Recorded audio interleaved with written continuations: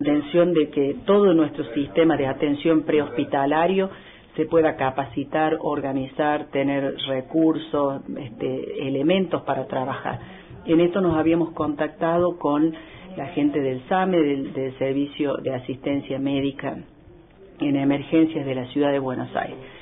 Eh, ¿Qué logramos con esto? Es que es un servicio muy avanzado en cuanto a lo que es capacitación y en cuanto a tecnología aplicada a la emergencia y a la atención prehospitalaria.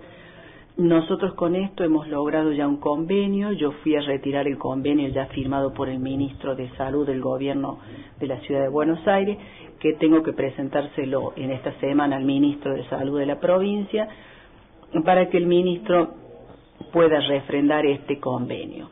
Luego de firmado este convenio de capacitación, la provincia sin costo para que venga este, la parte docente, tanto en lo que es em, enfermería, técnicos, técnicos operadores, auxiliares, eh, que puedan colaborar y asistir en emergencia. La intención es que esto se haga no solo para capital, sino también para el interior de la provincia. Este, todos sabemos que es muy importante invertir en la capacitación del profesional de salud que está atendiendo las emergencias.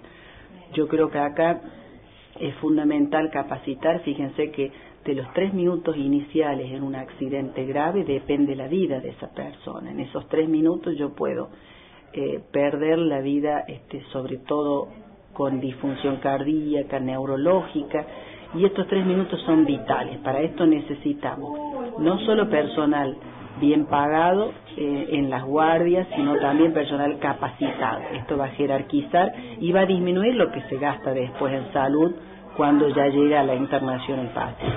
Digamos, se nota, se hizo algún análisis que acá no están actualizados, no están capacitados, ¿qué es lo que está pasando aquí? Nosotros, mire, de la evaluación que hemos hecho todo el año pasado y, y mitad de este año para poder este, plasmar en una ley de emergencias y servicios prehospitalarios, Fíjese que el 89% del personal no tiene capacitación específica para atención en emergencias. Puede tener cursos, pero no tiene certificación continua y formación específica en un tiempo en esto. Esto creo que es importantísimo porque va a devolver calidad a la atención en el sistema de emergencia.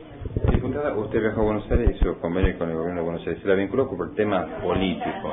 ¿Desmiente esto yo creo que lo importante de esto es que hay objetivos comunes para la provincia donde no importa quiénes son los actores en el medio. Yo puedo traer este convenio, se lo tengo que llevar al ministro actual de salud y por supuesto acompañar toda la gestión para que esto después se efectivice.